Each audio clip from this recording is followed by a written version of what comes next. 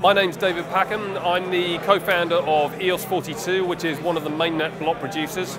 Uh, in addition to that, I've got an 18-year career in financial services, primarily asset management in the city. Uh, and other than that, we have been building out a token leasing decentralized exchange and just deployed that on EOS as well.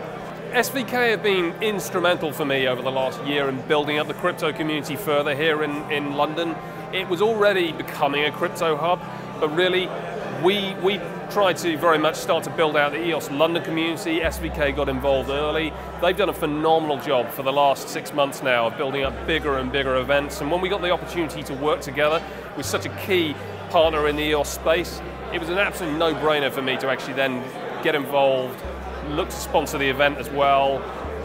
The quality of the panel speaks for itself. It was phenomenal. The current state of the crypto blockchain space if we, if we look at it from the token price side, not so great right now, but actually if we look at it, it's a maturing market now. We're seeing some of that exuberance and some of the cowboy projects gradually being moved out. We're seeing higher and higher quality people and projects starting to deploy. We're seeing solutions and blockchains like EOS that are becoming more and more scalable. And, and that's an ecosystem gradually maturing, which for me is the most exciting thing, because we're about to see, I think, the really real potential there for a blockchain starting to be unleashed. And it's great to see London, SVK, and EOS42 at the heart of that.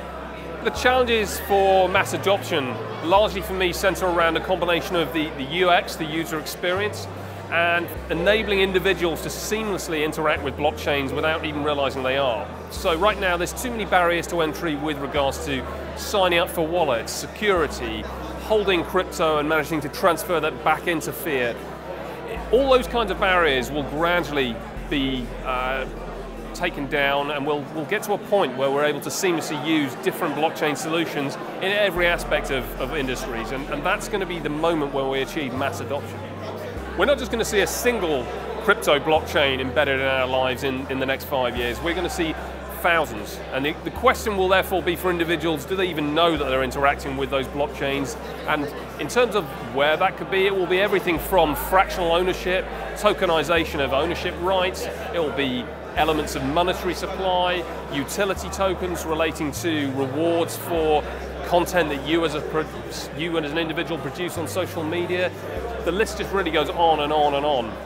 Outside of that, it's going to be all sorts of current business models where we have centralized individuals or control that, that currently it could be things like social media, it can be exchanges, all of those kind of things are going to be massively disrupted and each one will be an individual of a, a blockchain that, that's right there in our lives that we're interacting with. We're going to get to that point where we're not even aware of using them.